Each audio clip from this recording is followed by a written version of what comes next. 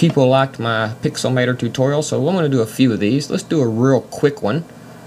It's not Photoshop and it's not Corel Painter, but it does a pretty good job for what it is. So I'm going to open up this picture of my car, and this is what we're going to end up with. So let me show you how we done this.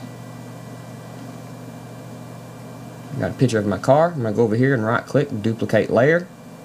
Now I'm going to have my layer, other layer selected, my duplicate layer selected. I'm going to go down to color dodge, change the blending mode to color dodge, go to image, invert it. It'll give us this, oh no, I done something wrong look.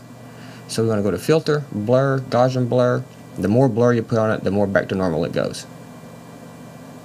And as you can see, we have this sketch look.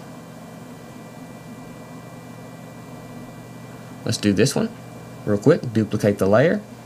Set it to color dodge. You could set it to linear dodge. It might help certain pictures. And we're going to go to image, invert, filter, blur, Gaussian blur. And there we go. It's quick, it's simple. Of course, it don't look as good as Photoshop or Corel Painter or some of the more expensive programs.